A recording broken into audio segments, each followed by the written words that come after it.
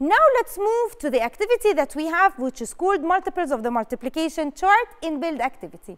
Here we are going to learn how to use the multiplication chart to determine the common denominator for fractions. We will solve together problem 1, in which we are going to have two equivalent fractions. Let's write them together. The first fraction is 1 over 4. And the second fraction is 3 over 12.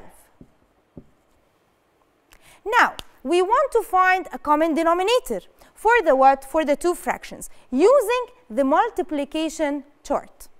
Now, the first step is to look at the multiples of the denominator of the two fractions, which are what? 4 and 12, and to determine the common multiples of these two numbers in the chart. So, if I look at 4 and 12 over here, 4 and 12, the first common multiple is going to be what?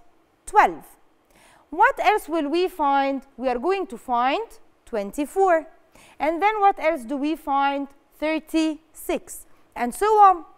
So what do we get? We can continue. We will also find 48 and so on. So these four numbers can be the denominator of the two fractions. However, we will notice that 12 is the denominator of the second fraction. So we can change the first fraction only, which is 1 over 4, and we will have a second what? The same denominator. So next to the fraction 1 over 4, what are we going to do? We are going to write another fraction with the what? With the same denominator, which is 12. And because 12 is the third multiple of 4, then the numerator will be the third multiple of 1, which is what? 3. So the new fraction that we are going to write now, equivalent to this, is equal to 3 over 12. شوف الحلقة كاملة من خلال تطبيق مدرستنا بلس مدرستنا مستقبل يبدأ الآن